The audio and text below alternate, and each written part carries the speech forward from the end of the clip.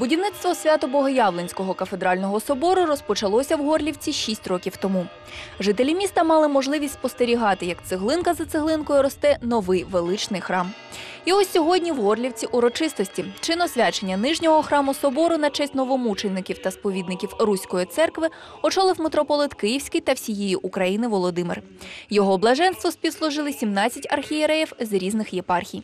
По закінченні служби предстоятель звернувся до вірян із вітальним словом та благословенням. Я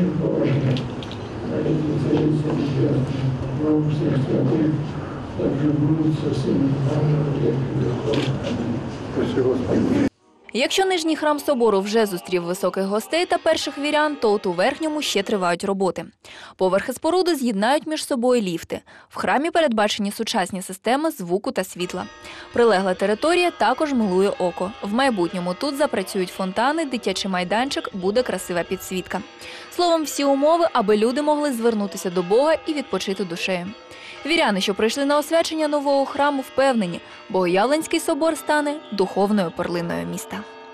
Впечатление хорошее, положительное, красивое оформление его. Мы здесь рядом живем, нам приятно, что такое событие произошло. Такая интересная, важная веха. Я думаю, православные будут рады, и люди будут больше заходить сюда. Молодежи много, деток благословили. Все красиво, все замечательно. Как только заложился первый камешек, с тех пор он стал не только духовным центром, а вообще центром в городе.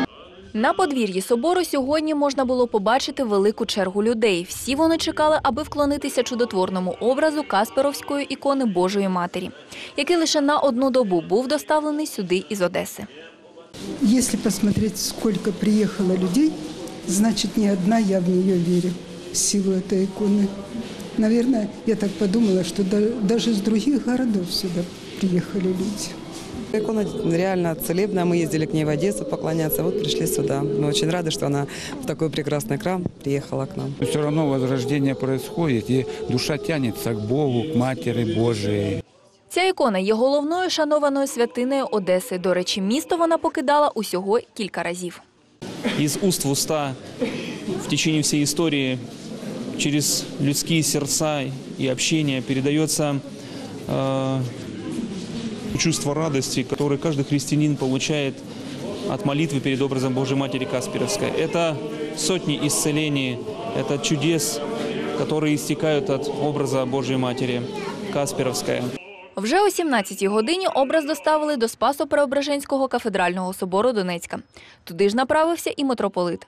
Завтра він візьме участь в інших заходах, приурочених до святкування 1025-річчя хрещення Русі в Донецькій області.